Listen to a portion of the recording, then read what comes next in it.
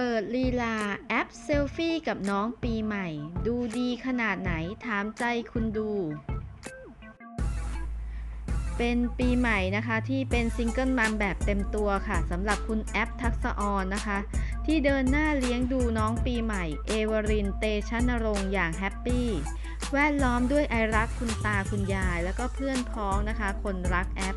รวมถึงแฟนคลับนะคะที่ยังคงเหนียวแน่นหนึบ และวันปีใหม่นะคะ ที่เพิ่งผ่านมาคุณแอฟยังคงบทบาทเป็นคุณแม่คนสวย ฉลองวันเกิดให้ลูกสาวอย่างแฮปปี้ งานนี้เลยได้เห็นหลายสิ่งปรากฏขึ้นนะคะ สิ่งแรกเลยนะคะก็คือคุณแม่แอฟเนี่ยยอมสวมชุดที่ลูกสาวน้องปีใหม่เนี่ยเป็นคนเลือกให้อย่างตั้งอกตั้งใจ ซึ่งก็เป็นที่ถูกใจของเด็กหญิงเอเวอรินนะคะ ก็คือน้องปีใหม่อย่างมากเลยค่ะ แล้วก็เหล่าแฟนๆนี่ก็ชื่นชอบด้วยนะคะ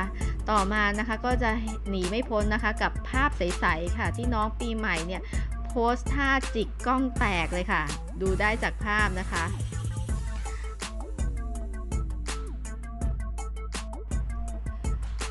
นอกจากนี้นะคะก็ยังมีของแถมค่ะที่ไม่ค่อยคุ้นตากันนะคะ ก็เป็นภาพคุณแอฟนะคะเซลฟี่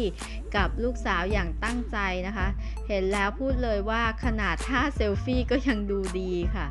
โดยรวมก็น่ารักไปหมดนะคะ น่ารักจนรู้เลยว่าคุณยายหมีนะคะ ไขสีแม่เลี้ยงของคุณแอฟเนี่ยหลงรักลูกสาวกับหลานสาวหมดหัวใจเลยค่ะ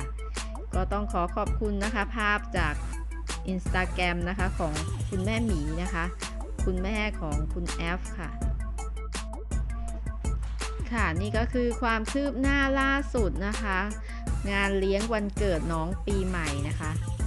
ก็ก่อนจบคลิปนะคะ อย่าลืมกดติดตามแล้วก็กดกระดิ่งเอาไว้นะคะ จะได้ไม่พลาดข้อมูลข่าวสารใหม่ๆ แล้วเจอกันใหม่ในคลิปหน้าค่ะ